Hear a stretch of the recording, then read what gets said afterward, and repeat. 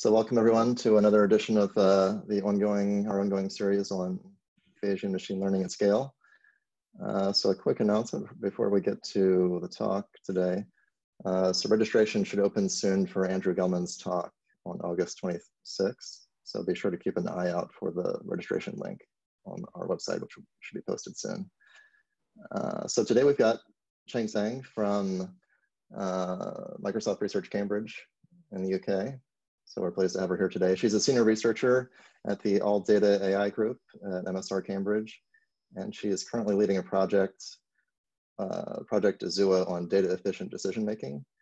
And her research interests include machine learning theory, uh, Bayesian deep learning, approximate inference, causality, Bayesian experimental design, and reinforcement learning for sequential decision making. Also including uh, various machine learning applications with uh, business and social impact. And today she's going to be presenting her work on efficient element-wise information acquisition with Bayesian experimental design.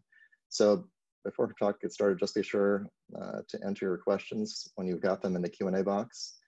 And we'll take a few short questions during the talk, uh, during some brief intermissions, and then we'll have a, 15 minute uh, time at the end for more detailed questions. So Cheng, I'll hand it over to you. Okay, thank you for the introduction and thanks a lot for the invitation. Today I'll talk about element-wise uh, active information acquisition with Bayesian deep latent Gaussian model. So it's a long title, but uh, I promise I'll touch every single word in this talk. So first, uh, uh, I will thank my collaborators. So I'll talk about three pieces of work in, collab uh, in collaboration with Chao Ma, Wenbo, uh, Miguel, Sebastian uh, Nowozin, Sebastian Piasek, Konstantina, and Rich. So Chao and Wenbo were my interns uh, in Microsoft Research. Uh, Miguel and Rich are visiting researchers in Microsoft Research, and uh, this work is also in collaboration with other colleagues in Microsoft Research.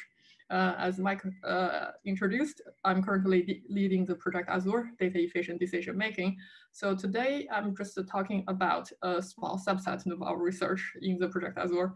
So if you're interested, feel free to check out our project. We'll keep our project updated and you can see all the publication we have there. So let's start uh, obtaining information is really costly. So the data are not free. And think about the interview, uh, recruiters need to ask questions and then as candidates need time to answer them and time is money. And think about in healthcare setting, uh, where each feature where when we think about it is actually a medical test. It can be invasive, it, like for example, take blood samples or even more invasive sometimes. So, and also in natural science. So obtaining information is costly in terms of money, risk, and time, etc. And let's look at Alice and Bob. So let's think about which solution do you like. So if Alice is coughing and Bob would ask, okay, for you, have you uh, uh, measure your temperature? You seem to have a cold. Alice takes the temperature and tell Bob and Bob think, oh, this is really bad situation. Let's go to the hospital. And alternatively is you can input a long vector of all different features, including temperature, age, height, and everything with Alice uh, to AI. The system probably will come up with the same conclusion. So which way do you like? So I think it's obvious that we will prefer the, the way in the left than the solution on the right, because as human, we really want to make a high quality decision uh, in the efficient manner and also we can act fast and we don't need to collect all the information that are really not relevant because we can know condition what we know, we uh, access the information in the way we desired for the decision making. So the overview of the project can be uh, formulated in this way. So we have any decision. Let's just think about a Chloe uh, in a, a setting of diagnosis. And probably in the beginning, we don't have any information on Chloe, and there are diagnoses of different disease, and we're very uncertain. And what we want is, based on our experience, probably the first question we're going to ask is temperature. And then with this information, we can update our diagnosis, and we can also update our belief about how much information does other type of feature can contribute to our decision. And we can do next step, uh, we can ask whether Chloe have a cough because when you have high temperature, I think we need to uh, to ask whether coughing is uh, something Chloe is experiencing, and then we can update the diagnostic decision and we get more confident.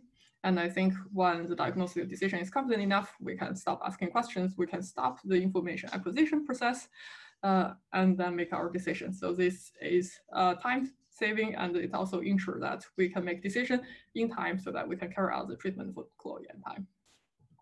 So the same actually can apply to many other settings. We talk about healthcare. It's the same for survey. Like uh, you must have filled some questionnaire before. I mean, your if send out questionnaire, I think everyone filled before. So the questionnaire can be really long. We can make dynamic questionnaire. Maybe for our decision, we don't need all the questions. And there are really long survey. For example, National Healthcare Survey from US is actually have more than 700 questions. The same for recommender system. What do we ask user when there's a new user? uh, register to a system is the same for online education. We want to personalize the quizzes and exercise for the kids to, to um, study. The same for insurance, uh, machine maintenance, energy, etc. So there are many application area where information are costly and we probably want efficient information acquisition to make our decisions. Okay, now let's see how we can use machine learning to reduce the information cost while retaining decision quality. And let's go back to the beginning, like where Alice and Bob uh, example. So when Bob see Alice coughing, what's in Bob's mind? So first, when Bob observe uh, Alice is coughing, Bob probably think Alice have cold. It's uncertain, but yeah, very likely. Whether Alice have fever or not, not sure. There are many other things Bob can estimate. For example, Alice probably don't have malaria. So that's first, Bob can estimate based on what he see from Alice, what's the situation of everything he actually don't know yet in a probabilistic manner. Uh, and secondly is what I see the, the red box. So based on this estimation, Bob can decide in this situation to best take care of Alice which information should I acquire? Like in terms of which question should I ask? Then in this case, Bob asks Alice to measure the temperature. So the step one uh, for, I mean, for the pool project, we want to behave really like a Bob. So then we do the step one is uh, missing value prediction because Bob is estimating what is unknown yet based on what is known. So the first contribution of this project is we want to estimate the uh, information that we don't know in a with uncertainty estimation. And the second is the element-wise information acquisition. So this is the step to choose which is the best question to ask. So this work I'm going to talk about is um, called EDDI Efficient Dynamic uh, um, Discovery of High Value Information with Partial VAE. So this work is published last year in ICML. So just a very a quick recap, I think many audience probably know uh, the deep generative model, uh, in particular variational autoencoder. So this is a very successful model in machine learning. It bridges the gap of deep learning and probabilistic modeling, and it takes advantage of both sides. And the model is very simple. It's a very basic latent variable model factorized in this way. So you can think about the z is latent variable, and then the x is generated from z. And we use actually quite standard variational inference method to infer it. So we assume there is a simple distribution, which is Q, and then we want to bring the Q and P together by minimize the KL divergence, and then we translate it into maximize uh, evidence lower bound, which was ELBO uh, in the form on the right. So what is different from traditional probabilistic modeling. So all these procedure like steps with a P, with a Q, with ELBO is very, very standard for probabilistic modeling and variational inference. What's uh, cool about variational autoencoder is all these are neural network. So how to generate X from the latent variable Z is the deep neural network. It's very flexible and uh, the same applies the hourly way around. Instead of estimating every single Z with a separate distribution, which is costly because we have the box, which means many data points. We actually use the neural network to estimate the latent variable z for each uh, input x. And in this way, it actually gave us a encoder and decoder uh, architecture, and we can use standard deep learning technique to learn all these networks. Uh, so I gave the example here, so you can input the DAC and decode the, the same DAC. It's a probabilistic model, so it actually gave us uncertainty. So a typical Z is uh, Gaussian distributed. Okay, so what's the challenge here? Think about we actually need to do the first step Bob, but the standard variation autoencoder cannot handle partial observation because in a healthcare setting, every different patient may have all different uh, medical tests associated with them. Like patient one may have variable A, C, B, and E measured, and patient two may have A and B. And the same for the DAC. It's like uh, it's if you observe some information, it's never complete. And the original autoencoder currently, although it's very successful, but it cannot handle such partial observation. So to address it, what do we need to do? Is we just want to change the variational autoencoder to partial variational autoencoder so that the goal is we can infer the missing value in a probabilistic manner, in a scalable manner from the observed value XO. So how do we do it? Let's look at the model. Because it's uh, factorized in this particular way, if we actually know the latent variable z, we can sample x, right? So the x is fully factorized. And so in this way, we can write our evidence lower bound, which is uh, the loss for the optimization. And you can see the left side is standard variation autoencoder, and the right side is partial variation autoencoder. So the bounds still hold. Everything can be written in the, exactly the same way. Just instead of taking the fully observed x the current bound is XO, which means only the observed part of the whole vector. For example, the, the test A and B, which are the only tests observed in the Bob and Alice case, the XO will be coughing, uh, which is observed, and then temperature and uh, etc. are not observed. So the bound still hold. So the challenge now is how do we actually design the, the Q z given XO because it's the inference net and we need this autoencoder decoder structure.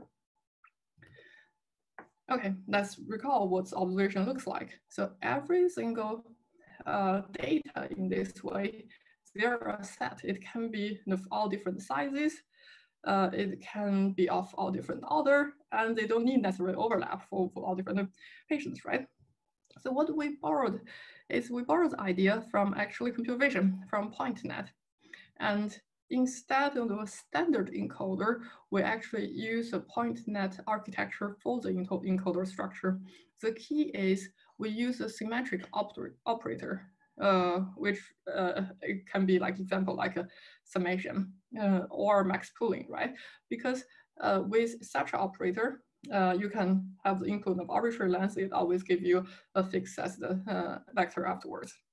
So to make the network flexible, commonly the input need to be embedded in a certain space. So we embedded in the network with a net shared network H.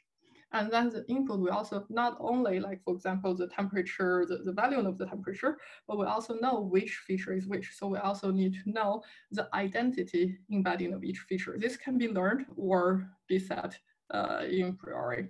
So in computer vision, this can be set as just the 3D coordinates in the really point cloud setting. But here we do learn a feature embedding, like the identity embedding. So we know, okay, this is the first feature, this is the second feature. So in this way, we can have uh, partial observation as input and with embedding to tell you which feature is which, and then output a fixed size vector. This is our encoder, and with the fixed size vector, we can uh, form other transformation to get our code Z.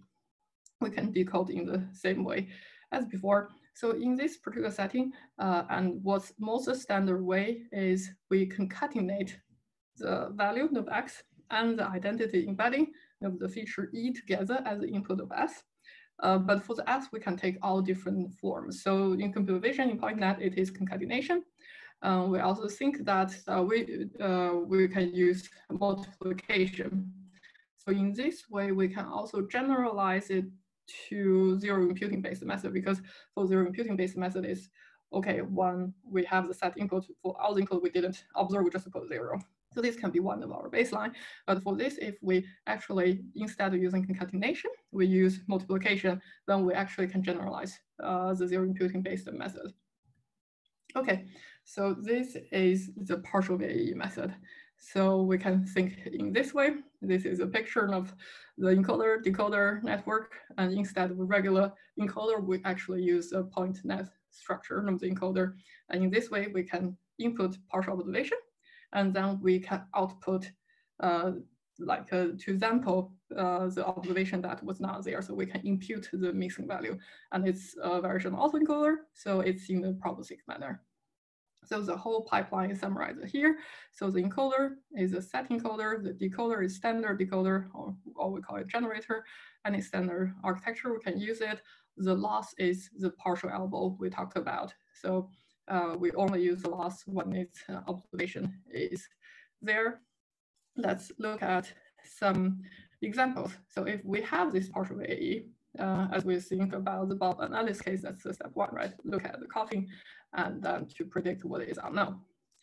Uh, as standard machine learning, let's evaluate also on some standard machine learning task. So when we think about missing value imputation, the first thing coming in mind is we can do image in painting. And then let's just do uh, image painting. So the plot A in the uh, far left, sh we show the input uh, of the network.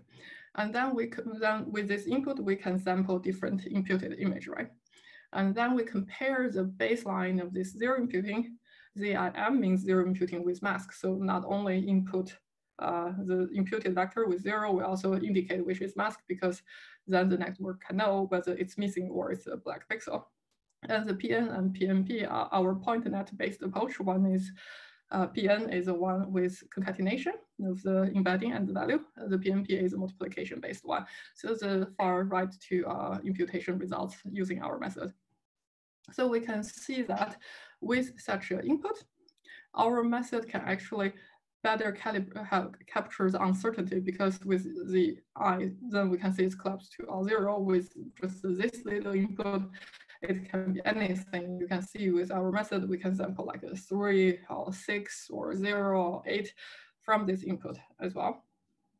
And of course, this is one example. We did report like more statistically significant results. Uh, so we tested in two ways. One is we random remove pixels uh, and try to impute it. Another way is we remove exactly like what I showed the example here is a region of the image being removed and try to impute it and we compare the evidence lower bound. So the higher the better. Uh, the way full means if the full observation. So it it's kind of a reference. It's not the same input for the later four column as a method. So you can see that our method does give improved performance on this simple imaging painting task. Okay, when we think about uh, missing value prediction, another thing easily come to mind is recommender system because in recommender system, one formulation is we can think it as a matrix and each row is a user, each column is an item and we observe some rating and there's a lot more that are not observed. So we can predict them and see whether we can find the correct user prefer preference, then we can do the user recommendation. We tested with a very standard benchmark data set, it's a MovieLens 1 million. So we can see that our method does perform better than the state vars method because we actually compute uh, with all like a different recommender system before 2019. Uh, this is a simple uh, task for the missing value imputation. So you can see that we finished the step one uh, is we introduce a partial AE so that we can do missing value prediction uh, in a probabilistic manner. And this is a very scalable uh, algorithm. Um, before I introduce the step two for element-wise information acquisition, uh, is there any questions? Yeah, so Cheng, there's, if you look in the Q&A box, I think you can see a couple of questions. So the first one is, uh, what if the size of the input is different regarding the partial VAE? Okay, so it's a very good question. Uh, I think that's exactly the the key of the the PointNet architecture because if you think about if you just sum all the elements together, it doesn't matter the input size. If you sum three number together or some five number together, it will always uh, leads to the same one number, right? So the exactly this symmetric operator designed in this way can take set uh, set input, so the size uh, can be arbitrary size. Okay, okay, makes sense. And then for the second question, how does partial VAE compare to traditional missing value imputation methods, such as Kalman filters or general state space models? Um, I think like uh, uh, I think these are uh, I will separate as two uh, questions. First, how it uh, uh, compared to traditional missing value imputation method. So first, traditional method have a lot. I mean, mean imputation, zero imputation. They are also imputation methods, but they're uh, they really don't take the data structure into account. So commonly, for applications, these performance are not uh, as desired. Of course, then we have like more advanced machine learning methods for missing value imputation. I think standard baseline, including like a MICE or MissForest, or like, for example, matrix factorization based uh, method. So you can think about like this is a nonlinear version uh, of such like a matrix factorization based method, so it's more flexible. So we do compare in the paper with more traditional matrix factorization based method. Uh, we do have better performance. And another advantage is I think uh, for traditional missing value imputation with probability method, I mean, they commonly use traditional inference method, uh, then that's not very scalable. For this setting, due to we utilize the amortized inference, which is this VAE structure, it's very scalable, so it's very fast because think about our goal. Like we actually want to do this missing value imputation at every active learning step. So we don't want user to wait. So this is another advantage is the, the computation efficiency. So that's one part, how it compared to traditional one, what I think is the traditional one. But you do mention another thing is like, how about state space models, right? So that's another uh, question. I, I will answer it in the second part is, I'm not dealing with time series currently. We're thinking about it's a static vector. Um, and then state space model, you can do missing value imputation. Uh, it's more over time. We actually have uh, follow-up work, and it's probably will be on arXiv very soon, is we actually combine our uh, variation autoencoder, this partial VAE, with Kalman filter. So we have a we call it a Kalman partial VAE. That is more comparable to the traditional uh, state space model, but in the same setting, like in the same explanation, it brings more nonlinearity into account. Okay. okay. Does this answer the question? Oh, is there more question? Uh, yeah, there's a third question that just came in. Uh, so the question is just wondering how partial VAE would work with discrete values, like in the Alice and Bob running example. Um, so for because uh, for variation autoencoder, you actually just uh, use the corresponding likelihood. So if your your question is like a temperature, that's a continuous value, and if you're asking about, uh, I mean, uh, for example, a recommender system, it's a, a like or dislike, uh, then that's binary, right? And it can also be five stars, and that's ordinal ratings. You just need to use a, a, corresponding likelihood in the decoding. So in the ELBO, the likelihood you have the p x given z, you just choose the, the corresponding likelihood form, then that's fine. Okay, okay. All right, sounds good. I think that's all the questions we have for now. So okay, we can great. continue. Okay, great. And now I think, I assume everyone is clear. Now we're happy. We have a, a method that is partial VAE. We can predict a missing value in a probabilistic manner and very flexible. And then the next step, uh, what we want to behave like Bob is choosing which question to ask. So which feature to acquire. So that's uh, active element-wise information acquisition, acquisition, and it is in a personalized manner.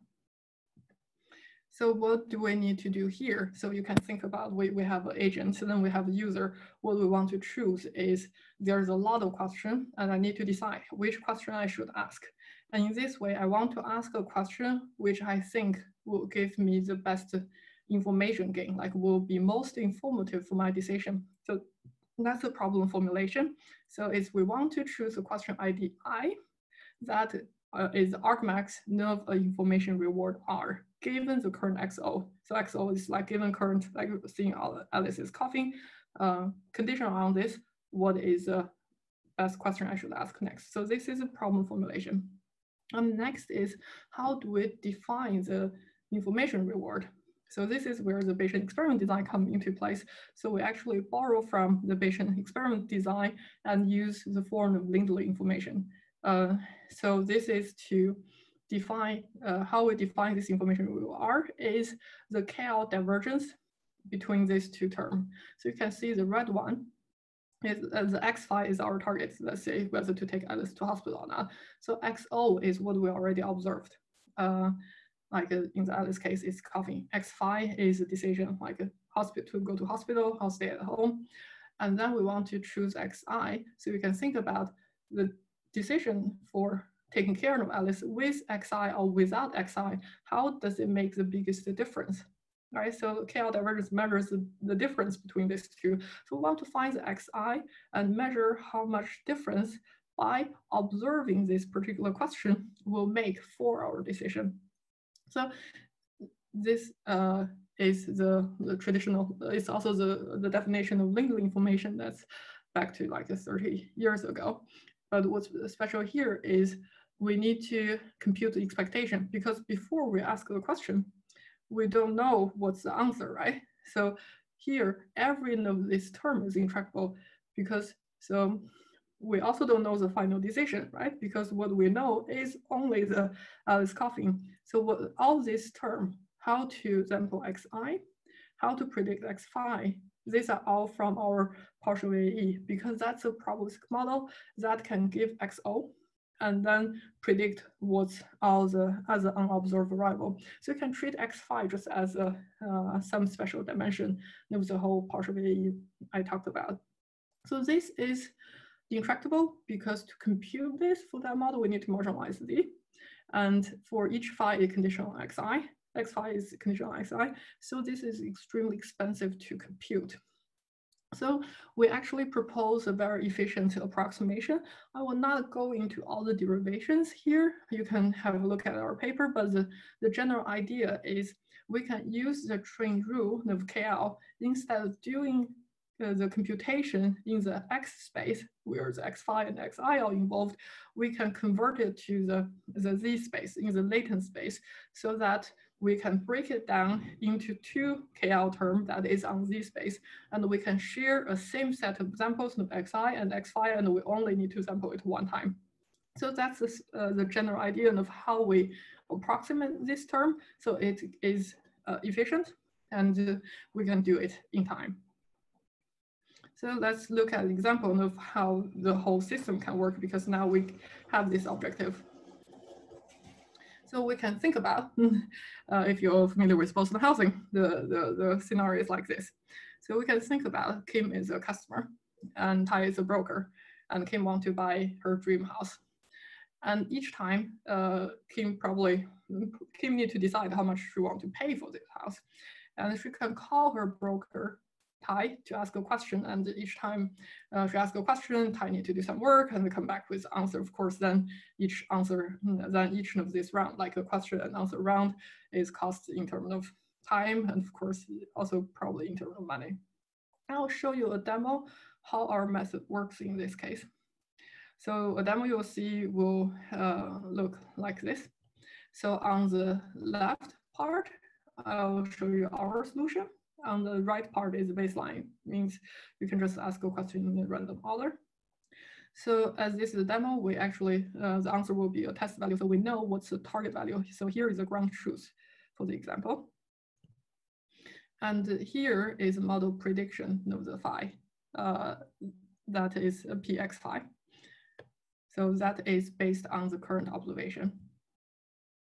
And here is a list of questions we could ask. So there are like uh, the number of teachers around the region or something like that.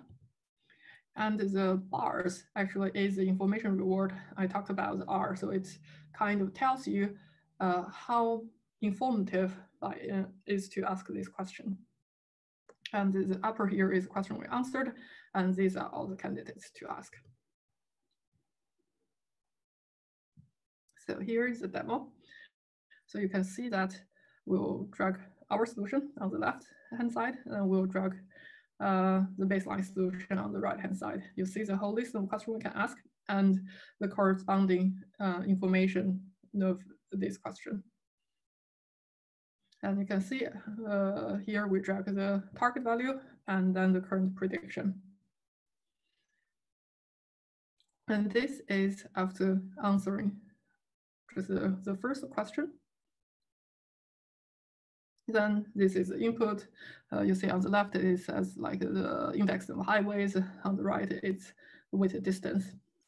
And then after answering this question, you see we update inf information reward. All these bar lengths change, right? Because if you input uh, an answer and then all other questions will carry less information compared to the question haven't been asked before. And then you can see that on the left, our method after asking two question, we're already much closer to the target uh, prediction, and on the right is much further. You can see this is after three questions, and we're very close. So you see our goal is we can choose the correct ask question to ask, and then we can get to our high decision quality as fast as possible. I'll stop here. So you can see that uh, here in this demo, I show a list of questions of like from a simple broker setting to buy a house. So the same can be applied. This can be a list of questions from a survey, and it can be a list of technical questions from an interview for recruiting, and it can also be a list of medical tests for diagnosis. And we tested on some machine learning benchmark. So here are some example on some UCI data sets like Boston housing, energy, and wine. The purple and the black are the two uh, different version of our method. So the black one is our full method that is personalized because we can ask uh, different question for different user. And if we, instead of taking personalized manner, assume if you, in education setting, you have access to your whole class, you want to ask the same question, but we take actually the mean of all the test question, that's the purple line, which we call it uh, a single order because we don't do the personalization. And the green one is if we access question in the random order. And the x-axis shows the step, like how many questions we ask, like how many feature we actually acquired at the current stage. And the y shows the error. So the lower the better. So you can see across all these applications. So with optimized algorithm like uh, ours, so we can optimize which question to ask next. And then with uh, this like smallest step, we can already get very low error rate. And like if we have a target, for example, for example, a certain RMSE, so we can use the minimum cost and then at any cost if we have a fixed, fixed cost. So given a cost budget, we can also get the best performance on decision quality. So we also tested a bit more on more real world examples. For example, Mimic 3, this is a medical data set. I think this is the largest public available medical data set from two real world hospitals. And the task here is risk assessment, which is to predict whether the patient survives or not. And there are 17 physiology variables. So we can see that actually with three variables, we can already predict as good as using all 17 variables. We also tested on the NHANES data, that's National Health and Nutrition Survey. There is a US government webpage. We actually download the data from there and they actually drive a truck uh, every year to visit a different place uh, and have questionnaire and they also have different tests like blood tests, etc. So here we construct the scenario as asking question to predict the uh, kind of uh, lab exams. And you can also see that we can kind of achieve the best performance already with 200 questions instead of using around 700 questions. So here is the work of EDDI. Uh, here's a brief summary. So we propose a novel efficient information acquisition framework, and there are two parts. The first part is missing value prediction with partial variation autoencoder, and the second part is element-wise information acquisition. So what we achieve is with minimum cost, like a, with minimum number of amount of feature we need to acquire in a personalized manner, we can gain the maximum knowledge or in machine learning sense have the lowest error. Um, at this time, is there any questions? I don't see any questions right now.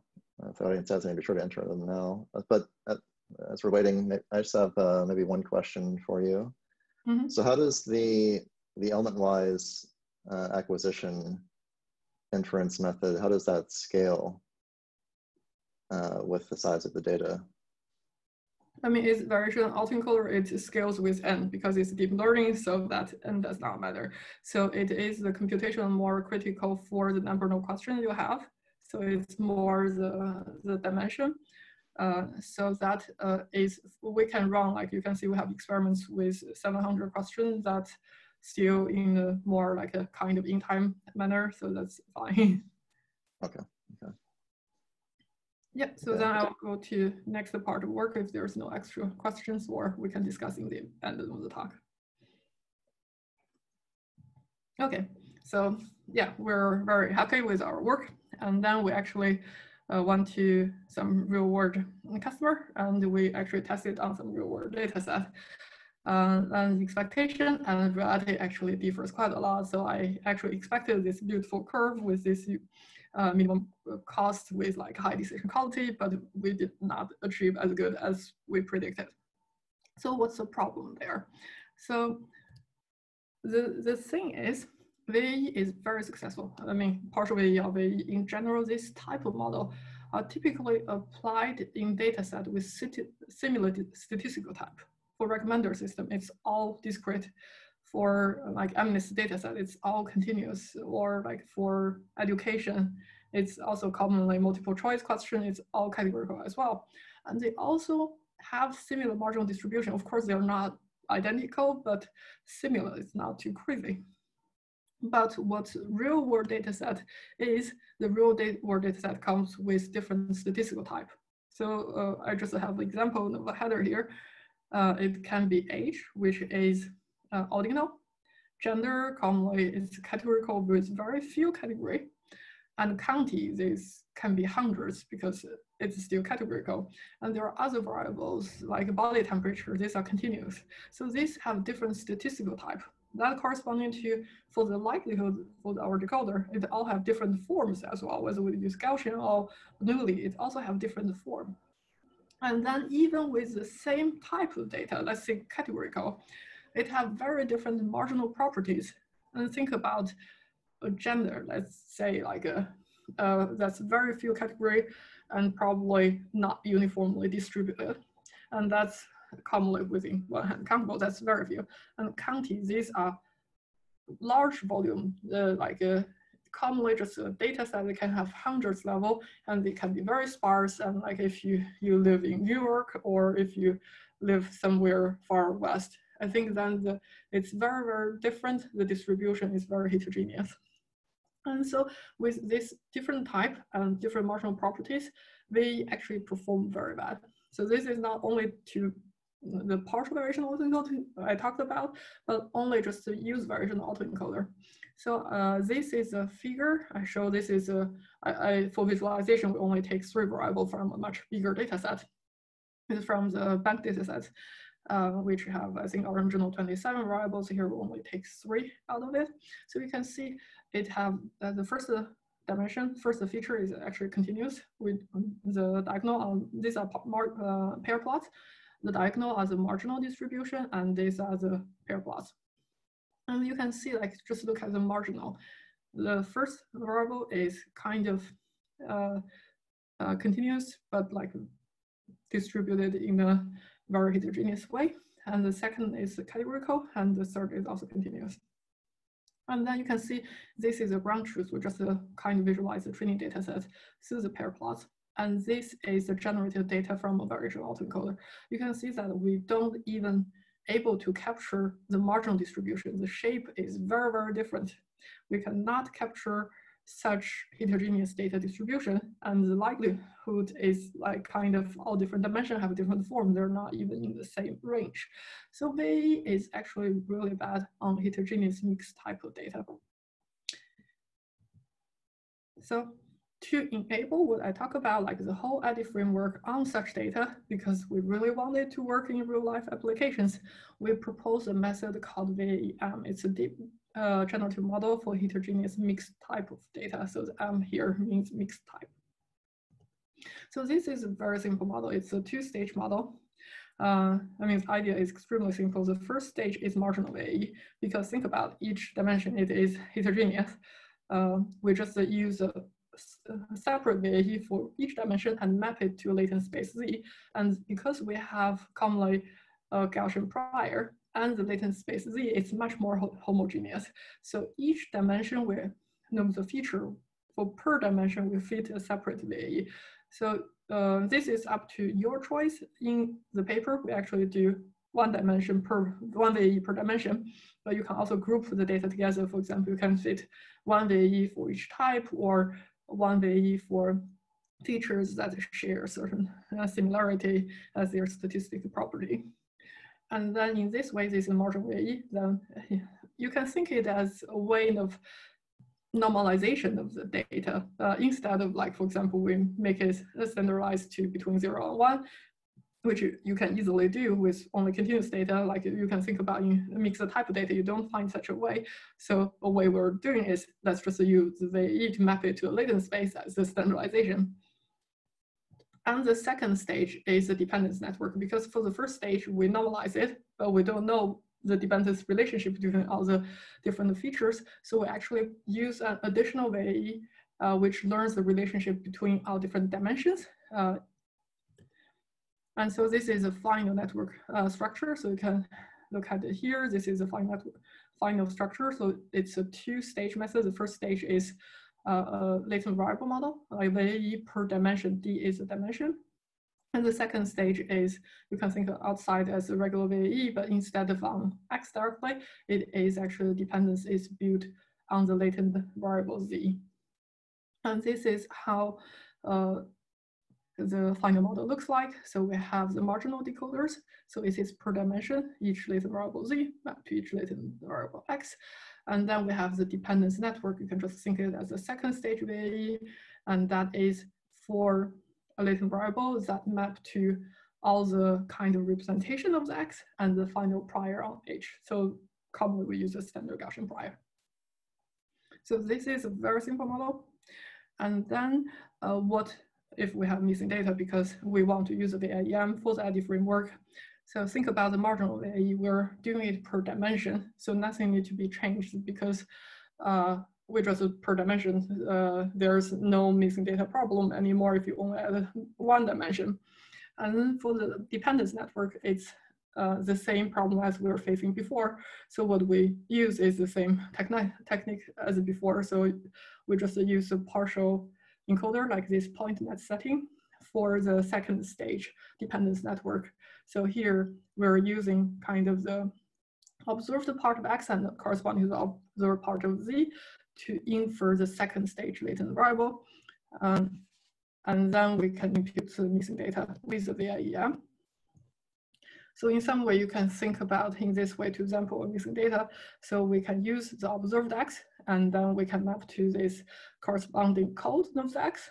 And then with this code X and the origin X, we can infer the latent variable H. So that's the second stage And then with this H, we can sample the unobserved the, uh, that U. So the, the representation of corresponding unobserved dimension and then we can use the marginal decoder to sample X again. again. So in this way, let's just look at data generation um, quality. So this is without missing data. And uh, we already see the left and far right plot where the ground truth and VAE, and then in the middle is our VAEM. You can see that with our VAEM, we can actually generate data that looks similar to the ground truth data that is desired, and the VAE really don't capture the data structure so we also tested um, the data generation quality in terms of uh, likelihood. So on the left table is when the data is fully observed, and the right side is when the data is partially observed. So it's the same as the first step of EDDI. So we can see that the um, does able to fit the data much better. So these across different UCI data sets and also with Mimic.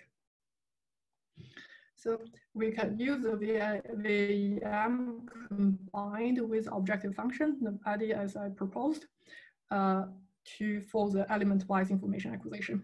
This is a similar plot as I showed before. These are the steps, this is error, and the same objective is used. So it's the same objective. We want to choose the best feature to acquire and to predict the target. And the red curve is ours. And then all other line are a different variation of AE. So the blue one is standard, I mean, it's actually partial AE, so the standard partial AE. And then because there are different kind of uh, technique you can you can try for this way because for example there are people tried because the likelihood are, are not in the same form we probably want to balance the likelihood with uh, some different reweighting parameter and just to make them to the same range. So these are different VAE variation that have heuristics uh, to make them better. But you can see that all this heuristic does not work when the data is heterogeneous. And you can see that we work much better and we can behave as desired again. So this is a quick summary of the VAEM. So in general, we propose a VAEM model. So that is a novel variational autoencoder based method that can handle mixed type of data with heterogeneous marginals and missing values. And we have this two-stage training procedure to obtain homogeneous data representation. And we have shown that VAEM can outperform baselines, both in standard task node modeling data itself, but we also show it in the task node active information acquisition uh, in this sequential uh, decision-making task, the same task as EDDI, and VAEM perform much better than the baseline. I have one small work just want to quickly go through, but before I jump to next work, uh, is there any questions? Uh, I have a question for you while we're waiting for other questions from the audience. so is there something um, like fundamental about why the VAE is unable to perform as poorly for capturing properties of heterogeneous data. So for example, is it because there's no coherent latent space to embed like heterogeneous data types in? So I mean, if you use standard VAE, it's z decode to x different dimensions. And for different dimensions, so it's factorized for x1, uh, p, uh, x1 given z, p, x2 given z, right? So you all factorize in this way. And if it's different type, the likelihood form will be different. It's like if you think about Gaussian, that's the, the range is completely different range than a binary, right? So then it can pay attention to just one dimension and ignore all other dimensions because a particular dimension is just so dominating for a subset of dimension. I see, I see, okay, makes sense. And then with the M, for example, because we all map it to a latent uh, space already, then the second state VAE always use the Gaussian likelihood for when you decode from H to Z, which is already the latent representation of X. I see, I see. Okay. Okay, I'll then go quickly to the last uh, small piece of work. I'll just go very briefly due to the time limitation. Happy to take questions in the end. So while we're like kind of working on the EDDI framework, we're also talking with many real world customers as you, you see before. So the mixed type of data is not only a problem we, we encountered because the uh, typical conversation I have is like, wow, this is so cool. And then I said, oh, let's try it. Do you have data so that we can start with it? Then the customers say, we don't have any data yet, but we can collect. And so in this way, we propose the icebreaker. So we want EDDI to work in the situation that there is actually no data or very few data available. Because EDDI actually is a framework that we train a partial VAE, so we assume there's already training data. It is this personalized information acquisition like from zero information for the test set. It's only one new customer or new patient come that we do the sequential information acquisition. So the icebreaker, what we want to do is we assume there's no training data. There's pool data you can think about in the hospital setting. So there's no data collected, but there may be patients in the hospital. You can decide whether you collect some data to train your model. So what you want to do is collect the data that are super efficient to train your model as fast as possible. And then you can switch to the objective. So in the uh, icebreaker work, we actually propose also two parts. One is a deep generative model. We call it PA Belgam. And then the objective that is actually to collect the training data. So in particular, because to collect the training data in this way, we want to collect the data that can reduce the model uncertainty. So it's the epistemic uncertainty, and we need explicitly measuring the epistemic uncertainty of the model. So instead of a standard version autoencoder, where all the parameter knows the neural network, it's just a point estimate, it's just the one number, we made it to all distributions. So then that can quantify how uncertain is the model itself. So you can think about in the graphic model setting, like uh, the left is partial variation autoencoder and the right is the new model. So instead of the theta as just a, a number outside, the it's point estimate, and we actually treat theta as a distribution as well. So the theta itself becomes a stochastic variable. So of course, the model factorized in this way, you need to consider theta as part of your model. It's not a parameter anymore, and you need to estimate itself uh, as it's a distribution. So for the icebreaker, it's really important for us to get the correct uncertainty estimate of the theta because this is a global variable and that is so crucial for our objective. We actually propose a new hybrid inference algorithm as well. Uh, so we actually use amortized inference for the local latent variable that here, and we use stochastic gradient MCMC for the global latent variable theta. Because to make the model scalable, what is the expensive part is Z because it's a scale with the number of data. We keep this deep learning framework. This is scalable. And then as the theta is already global variable, it does not uh, like uh, replicate with number of data anyway. And this is crucial to get the uncertain estimation corrected. So we use SGMCMC as we iterate between one inference step and with one sampling step, so the computation cost, the computation efficiency actually the same. With a standard uh, partial variation autoencoder, you can see that the full Bayesian version of the partial VAE, we call it um, partial amortized Bayesian deep latent Gaussian model. So for the icebreaker, we need a slightly different objective because we actually want to use the objective to make the model more uncertain to reduce epistemic uncertainty in the, in, in the imputing setting, there is supervised and unsupervised setting because for the imputing setting, for example, recommender system, we can directly do entropy reduction on the model parameter theta. And for the prediction setting, we actually want to both reduce the epistemic uncertainty and also learn to predict. So then we use the second objective. So we can use the PA Belgam in EDDI directly, and also we can use it for training data collection. So here we show, like on MovieLens, like the first uh, setting, uh, how we collect the training data, and we can see the training negative log likelihood, and this is the number of training data. So we count the number, it's not as rows, but as a single element. So it's actually a very small number of data. So we can see is, uh, first, if we compare just without the active learning part, only compare the PVE as I presented earlier, and with this full Bayesian version um, of the Belgam, this is blue one vs the green one. So with uncertain estimation of the parameter, we can already perform much better with small number of data, even it's random collected, you can see there's quite a big gap. And the red curve means we turn on the active information acquisition, and you can see that we're even more efficient. And here is a bar plot of like a different number of feature uh, picked. So this is one feature can be picked like a, a hundred times, and this is some feature just a, uh, oh, okay, this is normalized to do pick much later. So you can see if we pick randomly, it's concentrated, it's all very close to the expected number per like per feature, how many not time it can be picked. And you can see that use icebreaker, we actually have a long tail distribution because you think it as a matrix, you have user and the, and the feature. You both want to learn the, the relationship between different features, but you also want to learn the statistics of the, the user. So that means you, for some rows, you pick a lot of feature, and for some rows you don't. And then for users, you actually want to expand a lot as well. So with a fixed budget, we actually explore both column-wise and row-wise so that we can obtain the best performance with minimum number of data collected.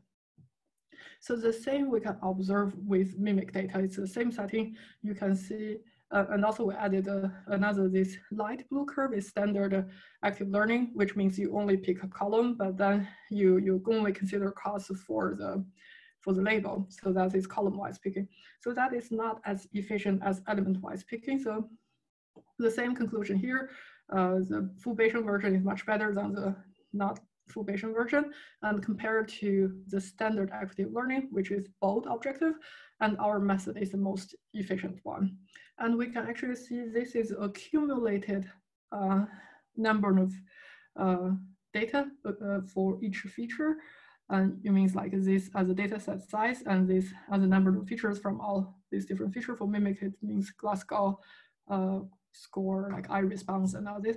Uh, so the Glasgow scores are very important for medical setting. You can see that we pick it very frequently, but we want to see that it's actually like have a nonlinear behavior.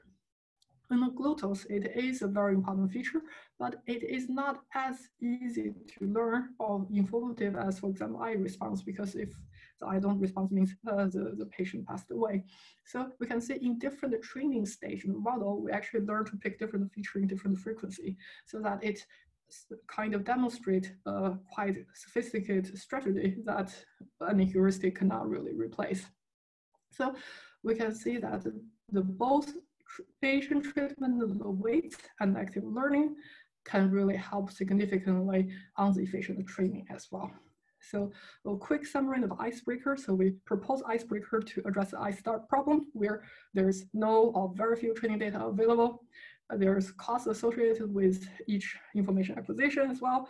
And so uh, we want to be cost efficient. And then with icebreaker combined with EDDI, it means we can deploy the model at the beginning. And technically, we propose the um, PA Belgam. So that's kind of a full Bayesian version of the partial AE. And also we have the new inference algorithm that is the hybrid inference algorithm. We have the new objective function and we do demonstrate like a very promising experimental result for real world data set.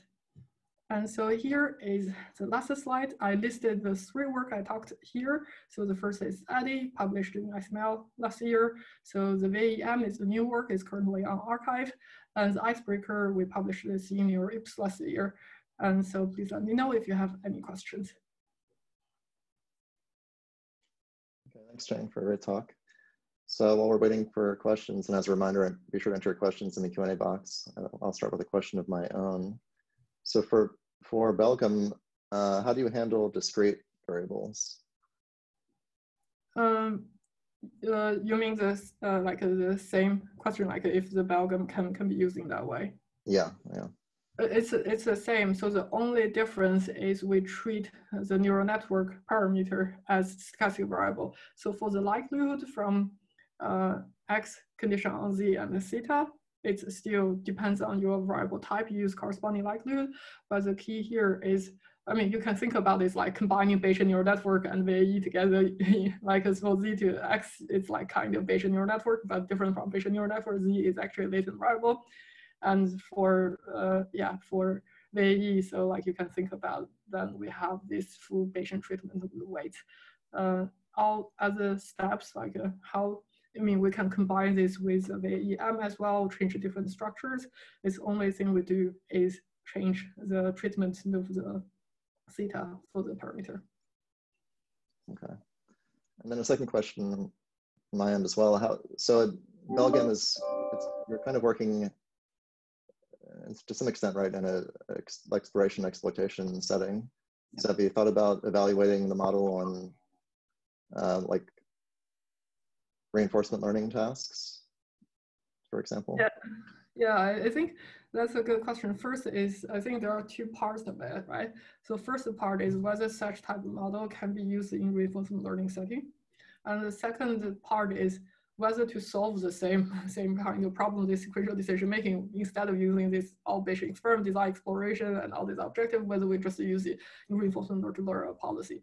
So for the first part, so we do explore a little bit on combining this model with reinforcement learning, but commonly it is more instead combining this model, but it's more the what I talk about this uh, Kalman partial VAE, or we actually use partial VAE with Start LCM uh, with reinforcement learning framework. It does help. So this is also work to come.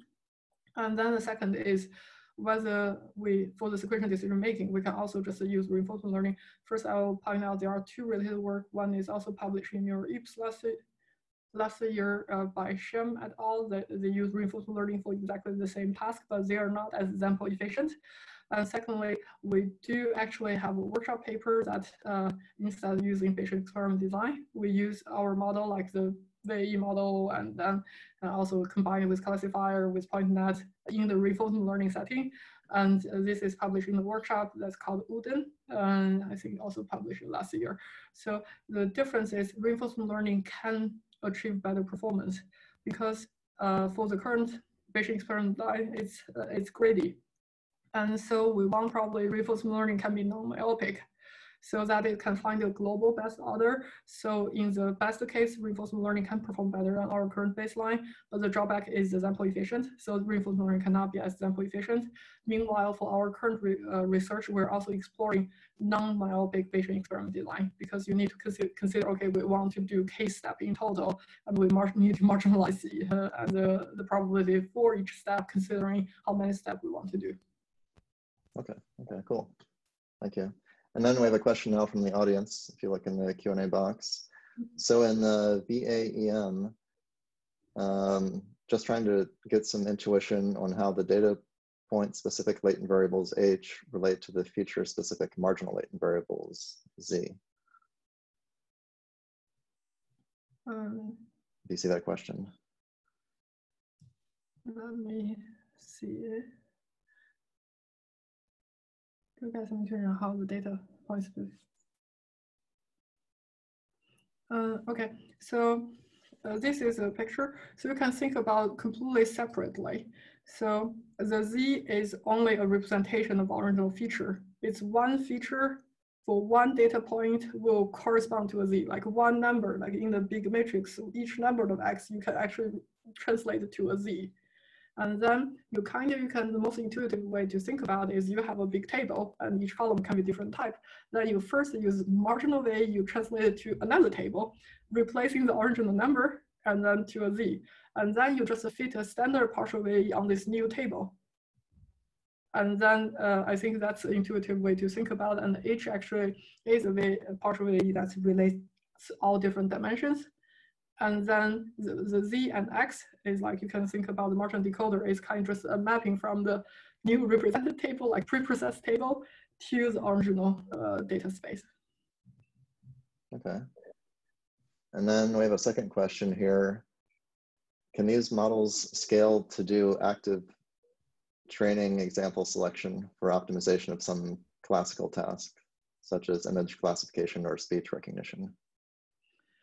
Uh, so that depends on the setting. So like uh, in some way you can think about our objective is a generalization of BALD, which is standard active learning activation function. I mean, in the icebreaker, we do compare with BALD.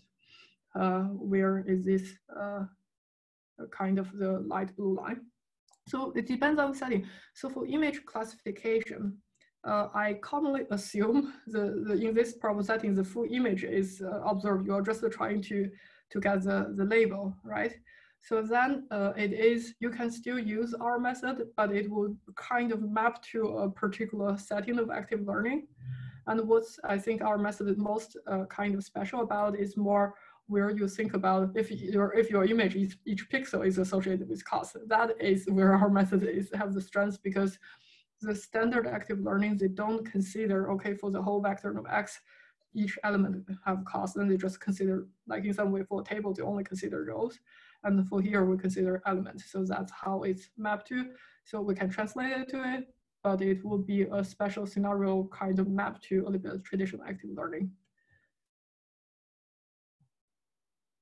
Okay, makes sense. Thanks. I think that is all the questions we have. So we can leave it there. Thank you everyone for some great questions and thank you Cheng for a great talk. Uh, very interesting work. And for everyone who's available in late August, we'll see you again in about a month or so on August 26th for Andrew Gelman's talk. All right, thank you again.